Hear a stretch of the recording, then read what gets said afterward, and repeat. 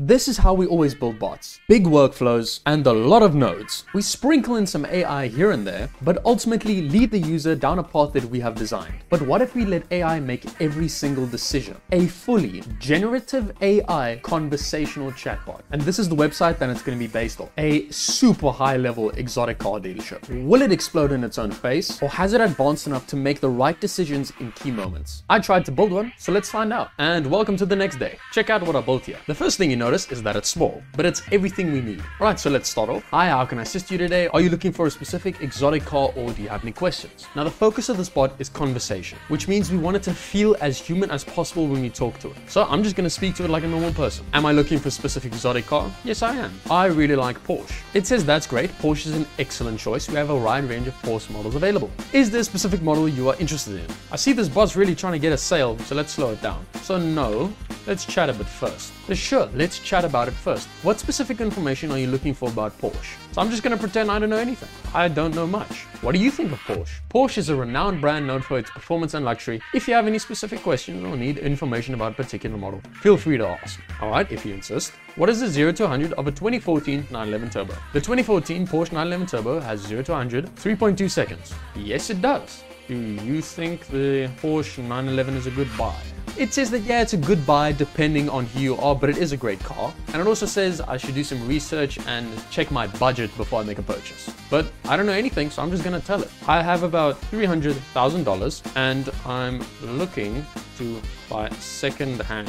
What should I get? It says that based on my budget, it recommends a Porsche 911 Turbo S. And I might be able to find a very well maintained used model within my budget. It also gives some useful suggestions for buying secondhand, like checking the mileage, maintenance history, and just an overall condition. So it's done a fantastic job so far of speaking to me and interesting me in the car. But now this is where usually an AI driven chatbot gets left behind. When a user gives them their contact info, they can't save it, at least not consistently. But with BotPress's new schema feature, now we can. So let's tell the bot I'm interested. Can you send me an email with some available Porsche 911s? It says, sure, I can send you an email with some available Porsche 911s. Please provide me with your email address. So then I'll give it my email address. And there you go. It says, thank you for reaching out. I will send you an email at that with the information you requested. Is there anything else that I can help you with? And if we now check here in our schema, we'll see that under email, it says my email address. And here we have other fields as well. We have my name, we have my age, we have like uh, my street, my city, my zip. Lead generation with chatbots now are so much more effective because of schemas. Because the bot doesn't miss any information, anything like that. It picks up on it like we can't manually do with code. And then right here, we have insert record card so that we insert that data into into our leads table right here. And then at the end of the day, we can have a bot that sends all those leads to a Google Sheet. And then we have literally in a spreadsheet, all the people that are actually interested in buying something from our bot. But this is not just a salesman bot with no background or knowledge. Here we are on Prestige Marquee's website.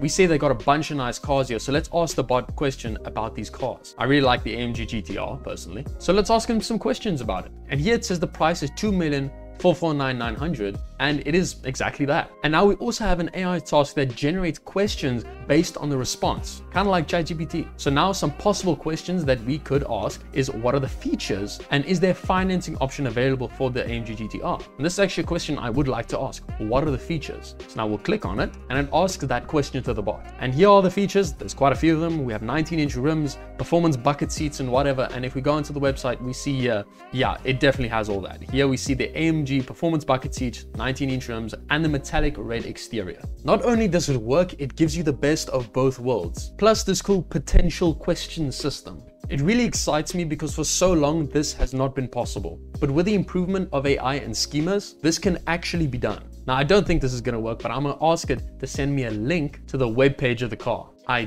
don't believe it. If I copy this link and I put it in a new tab, I can't believe it works. Now you might say, oh, it's not a clickable link, but the bot did try make it a clickable link. This is how we do it in HTML. You put the text you want the hyperlink to be in square brackets, and then you put the link itself in round brackets. It's just BotPress's fault. That would be a clickable link if we were in a web link. This is fascinating. Now, I'm not doing some fake YouTube reaction. It's just that AI sucks in a lot of places, and this used to be one of them. So the fact that we can now do this with AI chatbots is, for a lack of better words, kind of groundbreaking. As I told you, my first video on this channel was an exotic car dealership bot. And when I tried to do this, it absolutely flopped. So the fact that I don't even need to code anything, it just knows what that URL is, is genuinely cool to see. In literally 10 months, we have made so much progress in AI. I hope you enjoyed this mind-blowing video and I'll see you in the next one.